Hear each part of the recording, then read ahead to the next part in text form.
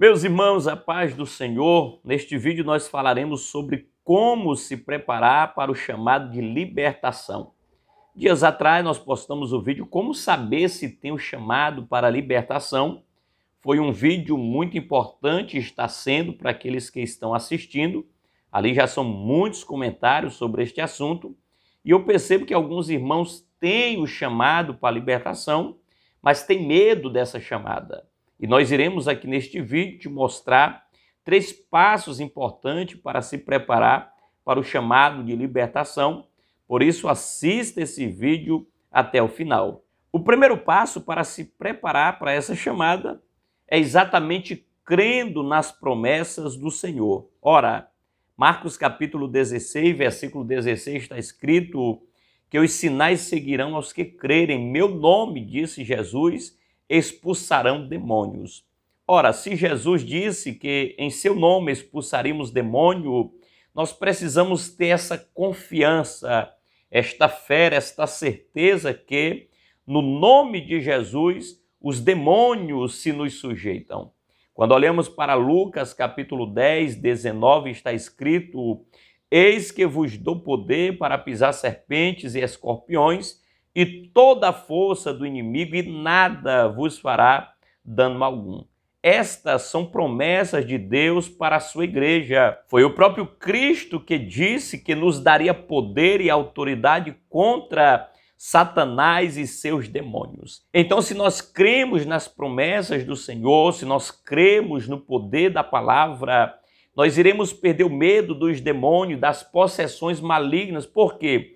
Porque não é nós que age, é o próprio Deus através do nome de Jesus por intermédio das nossas vidas. Então, a primeira coisa, o primeiro passo a se fazer é crer nas promessas de Deus.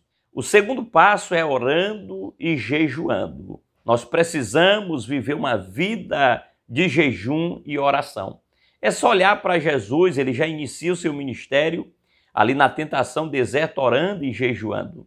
Jesus, por diversas vezes, deixou discípulos à parte e subiu ao monte para orar. Jesus demonstrou para nós uma vida pautada, voltada para o jejum e para a oração. E nós sabemos que, certa feita, levaram um lunático até os discípulos e eles não conseguiram repreender aquele demônio.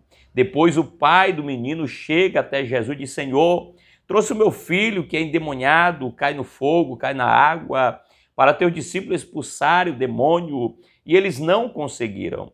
Jesus repreende aquele demônio e depois os discípulos vão até Jesus e perguntam: Senhor, por que nós não podemos? Por que não foi possível repreendermos aquele demônio? O Senhor disse: Olha, por causa da vossa pequena fé. Eu vos digo que se tiver de fé do tamanho de um grão de mostarda, direi a este monte: passa daqui para colar, e há de passar. Mas essa casta de demônios só sai com jejum e oração. Jesus estava dizendo: olha, vocês precisam viver uma vida de jejum e oração. Por quê? Porque existem demônios que eles têm uma facilidade maior de sair. Alguém levanta a mão e diz em nome de Jesus, sai, e o demônio já deixa aquela vida. Mas existem demônios que eles resistem um pouco mais, têm um poder de possessão maior mas através de uma vida pautada, voltada para o jejum e para a oração, vocês irão ordenar no nome de Jesus e eles irão obedecer, eles terão que sair. Então, o cristão que tem a chamada para a libertação, ele precisa viver uma vida constante de jejum e oração. Se você tem essa chamada e tem orado pouco ou quase não tem orado, Passe a orar mais, a se dedicar mais no jejum e na oração, que você verá a glória de Deus se manifestar através da tua vida. Na verdade, quando nós passamos a viver uma vida mais regrada no jejum e na oração, muitas vezes não precisa nem orar quando a gente está pregando ou louvando ou até mesmo falando com alguém, a pessoa já manifesta, cai endemoniada porque a glória, o poder de Deus, a unção, a autoridade de Deus está forte sobre a nossa vida. O terceiro passo tem uma vida voltada para a obediência. E eu vou lhe dizer por quê. 1 João capítulo 5, versículo 18, está escrito: Sabemos que todo aquele que é nascido de Deus não peca, mas o que de Deus é gerado conserva-se a si mesmo, e o maligno não lhe toca. Querido João está falando aqui que aquele que nasce de Deus não peca, mostrando que este não vive na prática do pecado. Por quê? Porque muitas vezes alguém é chamado para a libertação, para ser usado nesta área, combatendo de frente contra Satanás e seus demônios, e muitas vezes começa a viver uma vida na prática do pecado. Daqui a pouco, essa pessoa vai encontrar um demônio de uma hierarquia maior e ele não vai sair. Vai envergonhar esta pessoa, sem falar que este demônio poderá tocar na vida desta pessoa pelo motivo de estar vivendo uma vida de engano dentro da igreja.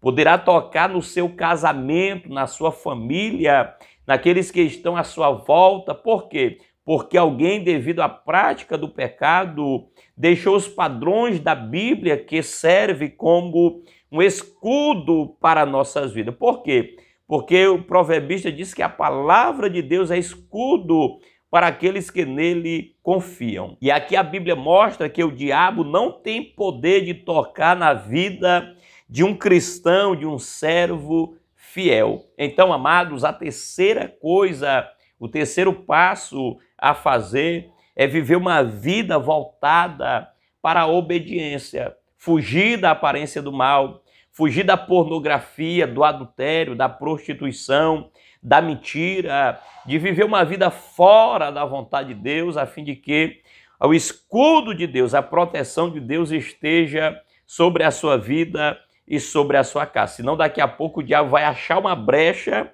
vai entrar e vai arrebentar com tudo, acabar com a sua chamada e com o seu ministério. Então, se tens um chamado para libertação, a primeira coisa a se fazer é crer, acreditar nas promessas de Deus. A segunda coisa, viver uma vida voltada para a oração e para o jejum.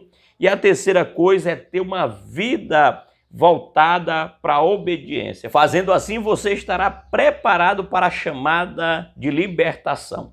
Eu espero ter contribuído para o teu lever espiritual. Se é novo, se inscreva no canal, acione o sininho, deixa teu like e compartilhe com mais alguém. Eu lhe espero aqui no próximo vídeo, permitindo o Senhor.